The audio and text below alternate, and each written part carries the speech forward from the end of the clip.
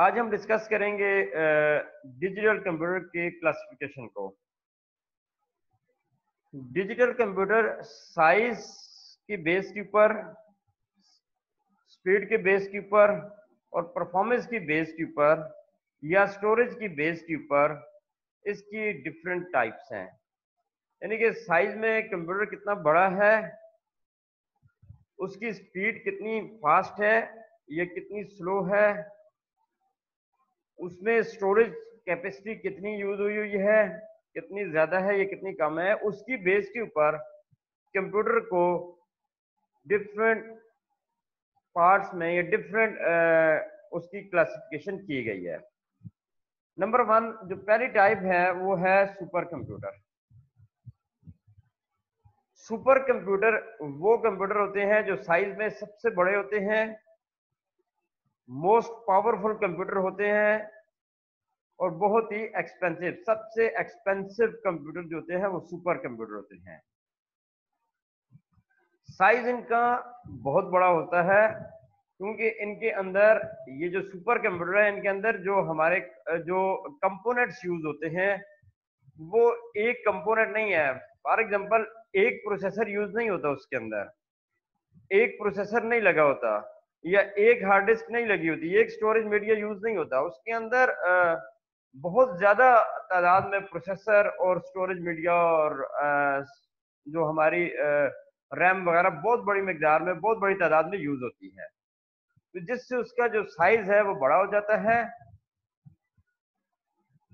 Powerful होते हैं, यानी कि बहुत ज़्यादा क्योंकि प्रोसेसर अगर ज़्यादा होंगे सीपीयू अगर ज़्यादा लगे होंगे तो डेफिनेटली काम भी उतनी तेज़ी से होगा। इस तरह है जिस तरह आपने एक काम जो है दिया है, एक स्टूडेंट को, और वही एक काम अगर हम दें, एक असाइनमेंट असाइन कर दें, एक स्टूडेंट को, और वही एक असाइनमेंट अगर हम असाइन कर दें, बीस स्टूडेंट्स को तो बीस स्टूडेंट्स उसको जल्दी सॉल्व कर लेंगे वन स्टूडेंट उसके ऊपर टाइम ज़्यादा लगाएगा। तो उसमें सीपीयू स्टोरेज बहुत ज़्यादा होती है। ये वो कंप्यूटर होते हैं जो कि खास मकसद के लिए बनाए जाते हैं स्पेशल पर्पजेज कंप्यूटर होते हैं। खास मकसद के लिए डिज़ाइन किए जाते हैं और उसी मकसद के लिए यूज़ किए जाते हैं। फॉर एग्जांपल एटॉमिक एनर्जी के अंदर यूरेनियम की प्योरिफिकेशन के लिए सुपर कंप्यूटर यूज़ किए जाते हैं। वेदर फोरकास्टिंग के लिए सुपर कंप्यूटर यूज़ किए जाते हैं। तो बड़े बड़े जो पर्पज हैं बड़ी बड़ी ऑर्गेनाइजेशन जहाँ पे ट्रिलियंस ऑफ़ इंस्ट्रक्शंस को एक सेकंड के अंदर हमने प्रोसेस करना होता है। इतनी ज़्यादा तादाद में हमने इंस्ट्रक्शंस देनी होती हैं। वहाँ पे हमें सुपर कंप्यूटर की ज़रूरत पड़ती है। फिर वहाँ पे हमें बाकी जो हमारे कंप्यूटर्स हैं, वो काम नहीं कर सकते। यहाँ पे हमें ट्रिलियंस ऑफ़ इंस्ट्रक्शंस को एक सेकंड में प्रोसेस करवाना होता है। ये कंप्यूटर को देनी होती हैं। वहाँ पे हमें सुपर कंप्यूटर की ज़रूरत पड़ती है। यानी कि जो स्पीड है, वो ट्रिलियन इंस्ट्रक्शन पर सेकेंड के हिसाब से है। उसके बाद सुपर कंप्यूटर जो है, इनकी अगर प्राइस की बात करें तो बहुत ही एक्सपेंसिव है। मोस्ट एक्सपेंसिव कंप्यूटर जो है इन द वर्ल्ड वो सुपर कंप्यूटर है। सुपर कंप्यूटर की प्राइसेस बहुत ज़्यादा हैं। 20 मिलियन 50 मिलियन डॉलर तक इनकी प्राइसेस हैं। इसके अंदर क्योंकि वायरिंग का एक जाल बिछा होता है इसलिए ये बहुत ज़्यादा इलेक्ट्रिसिटी भी कंज्यूम करते हैं। मिलियंस के हिसाब से इलेक्ट्रिसिटी कंज्यूम करते हैं। अगर एक आम हमारा जो माइक्रो कंप्यूटर होता है जो हमारा एक लैपटॉप है उसके स्पीड और इसकी स्पीड को आप इस तरह समझ जाए कि हमारे माइक्रो जो कंप्यूटर है हमारा जो लैपटॉप है इनसे 50,000 टाइम फास्टर होता है माइक्रो कंप्यूटर इतनी ज़्यादा तेज़ी से इस प्रोसेस करता है इंस्ट्रक्शन को जो सुपर कंप्यूटर होता है। तो ये था सुपर कंप्यूटर जो कि साइज़ में बहुत बड़ा होता है, जिसकी कैपेसिटी बहुत ज़्यादा होती है, जिसके अंदर रैम बहुत ज़्यादा तादाद में लगी होती है सीपीयू बहुत ज़्यादा तादाद में लगे होते हैं, जिनके अंदर प्रोसेसिंग कैपेबिलिटी बहुत ज़्यादा होती है ट्रिलियन के हिसाब से इंस्ट्रक्शन को प्रोसेस करते हैं साइंटिफिक लेबॉर्ट्रीज या लार्ज साइंटिफिक लेबॉर्ट्रीज या रिसर्च लेबॉर्ट्रीज के अंदर यूज़ किए जाते हैं। एटॉमिक एनर्जी के अंदर यूज़ किए जाते हैं। एक सेकंड के अंदर ट्रिलियंस के हिसाब से इंस्ट्रक्शन को प्रोसेस कर सकते हैं। ये स्पेशल पर्पस कंप्यूटर हैं। वेदर फोरकास्टिंग में भी यूज़ हो सकते हैं। इसके अलावा इनकी जो प्राइसेस होती हैं, वो 50 मिलियन डॉलर तक इनकी प्राइसेस होती हैं। वायरिंग का एक जाल बिछा होता है, जिसकी वजह से बहुत ज़्यादा इलेक्ट्रिसिटी कंज्यूम करते हैं। इसकी जो स्पीड आम जो कंप्यूटर है, हमारे micro computer fifty thousand time faster होते हैं, ये कंप्यूटर सुपर कंप्यूटर उसके बाद है जी मेन फ्रेम कंप्यूटर साइज़ में सुपर कंप्यूटर से साइज़ में थोड़ा छोटा परफॉर्मेंस से सुपर से कम मेमोरी में सुपर कंप्यूटर से कम प्रोसेसिंग में सुपर कंप्यूटर से जो कम कंप्यूटर और माइक्रो से बहुत ज़्यादा जो कंप्यूटर है, वो मेन फ्रेम कंप्यूटर होता है। मेन फ्रेम कंप्यूटर जो है, वो सेकंड जो मोस्ट एक्सपेंसिव कंप्यूटर है मोस्ट सुपर कंप्यूटर के बाद जो मोस्ट एक्सपेंसिव कंप्यूटर है मोस्ट पावरफुल है लार्जेस्ट है साइज़ ज़्यादा लेता है स्पेस ज़्यादा लेता है, वो मेन फ्रेम कंप्यूटर है। स्टॉक एक्सचेंज और बैंक्स के अंदर या हॉस्पिटल्स के अंदर या एयरलाइन एयरलाइन कंपनी जो है, वहाँ पे ये मेन फ्रेम कंप्यूटर यूज़ किया जाता है। बिलियंस के हिसाब से एक सेकंड के अंदर इंस्ट्रक्शन को प्रोसेस करते हैं super computer sorry main frame computer main frame computer जो है, वो एक सेकंड के अंदर बिलियंस अरब को कहते हैं बिलियंस ऑफ़ इंस्ट्रक्शंस को प्रोसेस कर सकते हैं। यानी कि जहाँ पे हमने एक सेकंड में बिलियंस ऑफ़ इंस्ट्रक्शंस प्रोसेस करवानी होती है, वहाँ पे हमें मेन फ्रेम कंप्यूटर की ज़रूरत पड़ती है। आप देखें ये जो हमारे बैंक्स हैं, यहाँ पे भी सुपर कंप्यूटर यूज़ हो रहे हैं। जो हमारी एटीएम मशीन है, वो भी one of the type of super computer वो भी एक तरह का एक टाइप है सुपर कंप्यूटर की। वो सॉरी मेन फ्रेम कंप्यूटर की। तो हमारे जो एटीएम मशीन है ऑटोमेटिक टेलर मशीन जिसे कहा जाता है एटीएम कहा जाता है, वो भी क्या है मेन फ्रेम कंप्यूटर है। तो मेन फ्रेम कंप्यूटर क्या हुआ? सुपर कंप्यूटर से कम एक्सपेंसिव होता है, लेकिन माइक्रो से ज़्यादा एक्सपेंसिव होता है। सुपर कंप्यूटर से कम परफॉर्मेंस में होता है, लेकिन माइक्रो कंप्यूटर से परफॉर्मेंस में बहुत हाई होता है। मेमोरी की बात करें तो उससे सुपर कंप्यूटर से तो उसकी मेमोरी स्टोरेज कैपेसिटी कम होती है, लेकिन हमारे जो माइक्रो कंप्यूटर हैं, उनसे इसकी जो परफॉर्मेंस है, इसकी मेमोरी है, बहुत ज़्यादा होती है। चाहे वो स्टोरेज है, चाहे वो प्राइमरी स्टोरेज है या सेकेंडरी स्टोरेज है। तो आफ्टर सुपर कंप्यूटर, जो एक्सपेंसिव कंप्यूटर होते हैं, वो मेन फ्रेम कंप्यूटर होते हैं। एक रूम जितनी जगह कंज्यूम करते हैं मेन फ्रेम कंप्यूटर।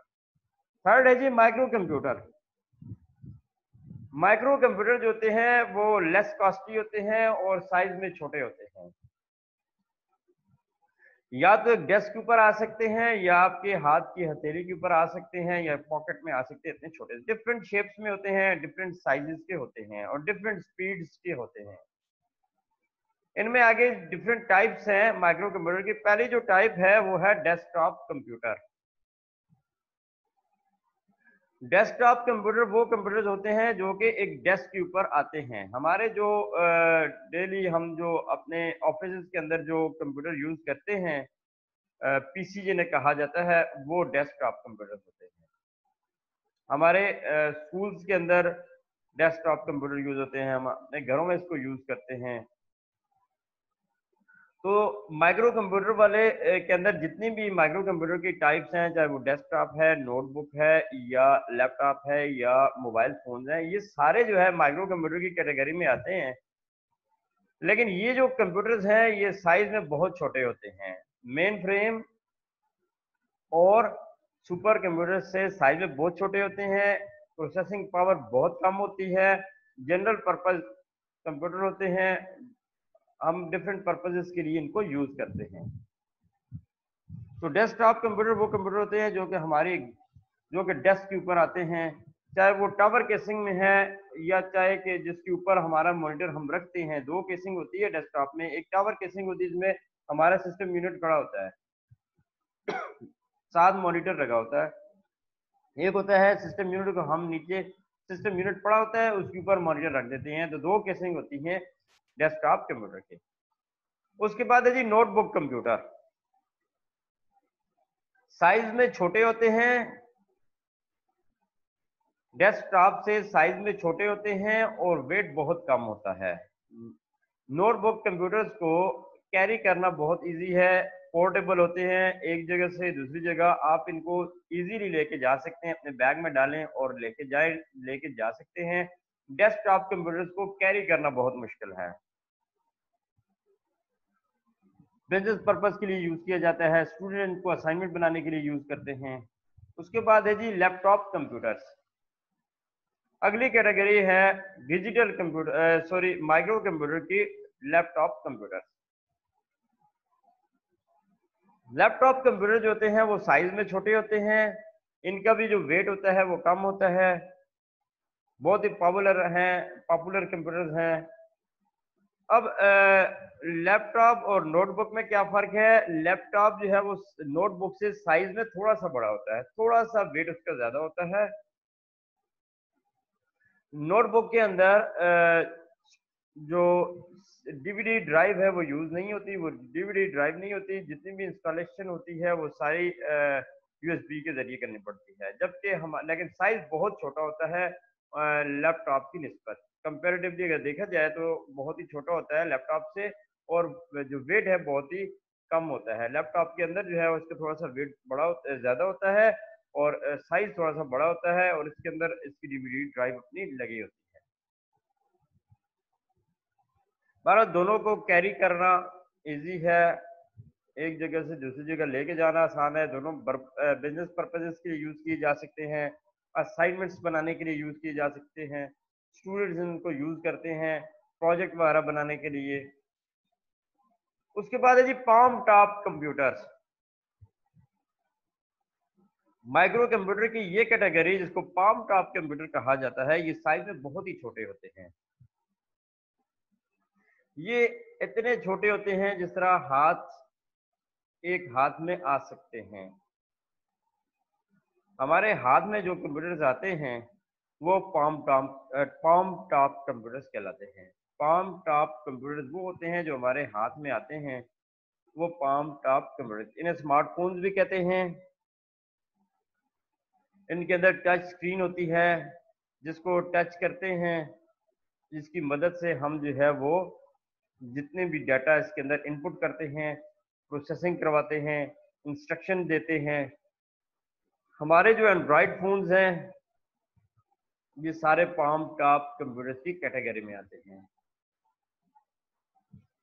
तो ये था आज का topic